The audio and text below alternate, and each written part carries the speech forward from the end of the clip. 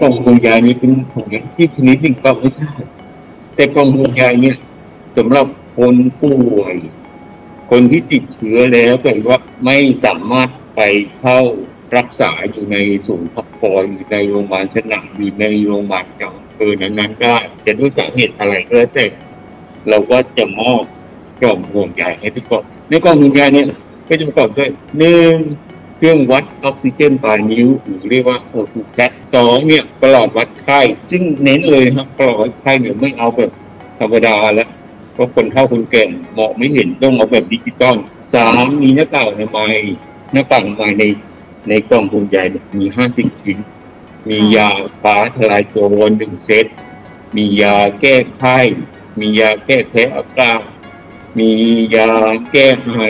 อันนี้เป็นเรื่องเกี่ยวกับการ ปฐมพยาบาลเบื้องต้นนอกจากนั้นก็จะมีเรื่องสเปรย์แอลกอฮอล์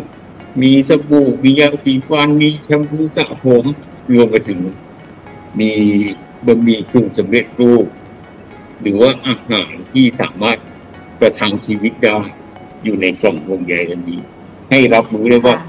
ทางจังหวัดเนี่ยยังห่วงใยนะ